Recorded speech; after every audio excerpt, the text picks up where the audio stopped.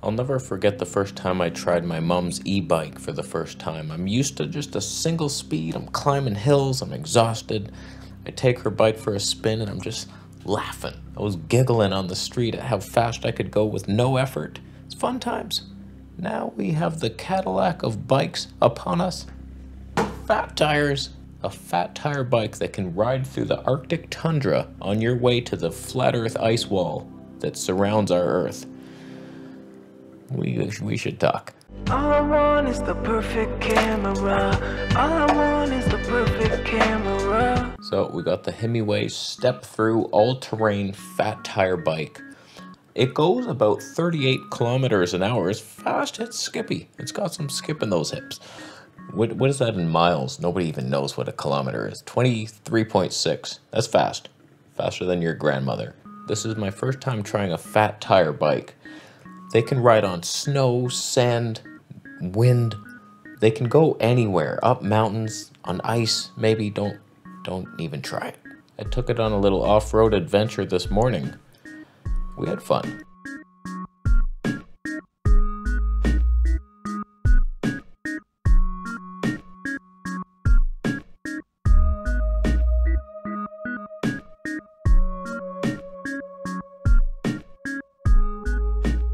So we got the Himiway. Himiway with Fat Boy tires. I gotta be honest with you. I have never rode something so fun. How the hell? I have my keys right here just hanging off the brake. Wow, that is dangerous. That looked... How is this even working without the keys? Seriously, who does that? How did this even turn on? Oh, God. Oh, God. Let's just say it's on now and was on the whole time. So these are 26 by 4 Kenda fat tires, the juggernauts. And I gotta say, it's not just for off-roading. Yeah, they're gonna be a little slower than smooth road tires on your little Nancy road bike. But like there's benefits, like we have streetcar tracks in Toronto. You just ride right over those things. You couldn't get stuck. People have died because their skinny little wheels get stuck in a track, they fall off. Streetcar's like, sorry, I, we have to make up time. We have to stay on schedule. Run over dead. So these things like up curbs, potholes, like anything, you just go. It's got shocks. Not bad. This thing goes forever too. They say 35 to 60 miles per charge that's insane. I don't, I went for a long ride today, probably like eight kilometers or something, but it barely dented that battery. I feel like you could go anywhere you'd ever want and back and forget your keys, go back and get them and come back again. Four trips. I mean, are fat bikes as good as tall bikes? Not really. They're not really comparable. It's not in the same ballpark. Those things are so safe looking, these tall bikes. If you fall off, you just drop and roll like a fire, and you're just always safe. That's what I love about the tall bike. Do they have electric tall bikes? They should. All right, we're now testing out the pedal assist feature. So when you pedal, it assists you. Oh yeah. Okay, you can still pedal good. The gears, I've been on bikes before where the gears like weren't slow enough. You're just spinning your wheels, you couldn't even help. This feels good.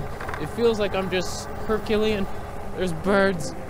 Where's my telephoto lens? I'm doing wildlife with a GoPro. Oh yeah, it's got a 350 pound payload. So if you're someone like me, 140 pounds, you could bring with you an extra person on the back or just a lot of furniture. It's got the bike rack, groceries. I've been known to carry like 60 pounds of groceries home. get the little pannier racks. Not bad. Now, I'm a scooter whore myself. I prefer just the simplicity. I kind of like standing. I like the lightness. I like how much little space scooters take up as opposed to this giant thing in my house. But there are benefits that I can't tout as a scooter whore. With my Ninebot Max, I'm not going off-road. I was taking this thing through bushes. It was fun. Sure, there are off-road scooters, but mine doesn't do it. So this thing can go off-road, you can carry more groceries. With that rear rack, I'm limited to a knapsack and whatever I can put on the handlebars. There's no like, you're not bringing home a chair This bike also has much stronger torque. Even though my Ninebot Max will make it up any hill I've ever tried, this will also do that and more. In icy hills, maybe. Snowy hill, I bet I could make it up a mountain. But compared to most scooters, it's just much faster and much longer range. I was going 38 kilometers an hour. My Ninebot maxes out at like 30, sometimes 31. It's just I noticed the speed increase and it feels safe because you're on this fat bike and you're just flying, you're whipping, whipping through the terrain. I was gonna take it on an endurance test today, but my hands were so cold. It was like minus 10 and I just got these new gloves. Oh, they're thin. I got them so I could push buttons for photography, videography, not photos. I misspoke. And they do nothing to protect from the wind. So I was like, almost frostbite, frostbitten. So I was like, I'm coming home. It barely dented the battery. It probably lasts forever. I'm leaving. If I had any complaints, you know I could find some. To call this a step through bike, you need the athleticism of LeBron James just to get through it. My initial plan for this bike was to give it to my mom because she rides e bikes, and I was like, she ain't stepping through this thing. Every time I try it, you don't have much room. It's like you gotta. And then these little spikes, those are fun. They always catch on something, so it's like right in the spine. Right in the spine. So I had to take a couple taekwondo classes just get in there. That's my only complaint. And I don't love that it can be started without the keys. That's I thought that's what keys were for. Just right in there to someone could just ride it off. Buy it. So when it comes to the cons, the step through thing is a little difficult unless you know taekwondo. The keys not locking the bike, but it locks the battery to the bike at least. So that's nice. So you have to unlock it to get the battery out. You can't just take it like that scooter I reviewed.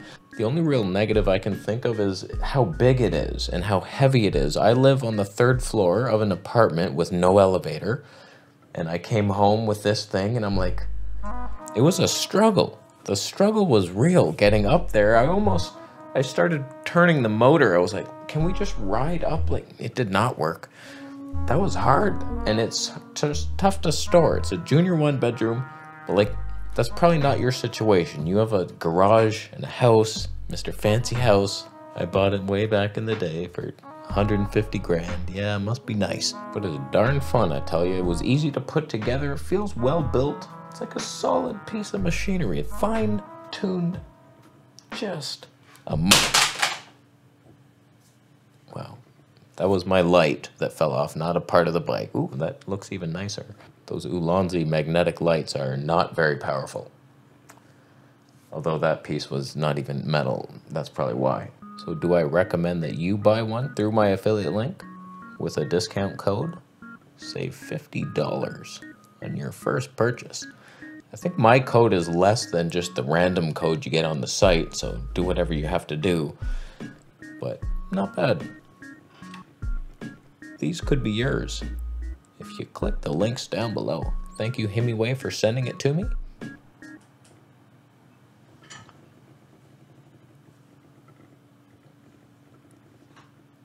Is it the strongest headlight you ever seen? It is, actually. I could see in pitch black. Safe. I feel safe. I'm going to leave. Not after you subscribe. For more videos, and I'll see you in the next. I didn't sell out. You sold out.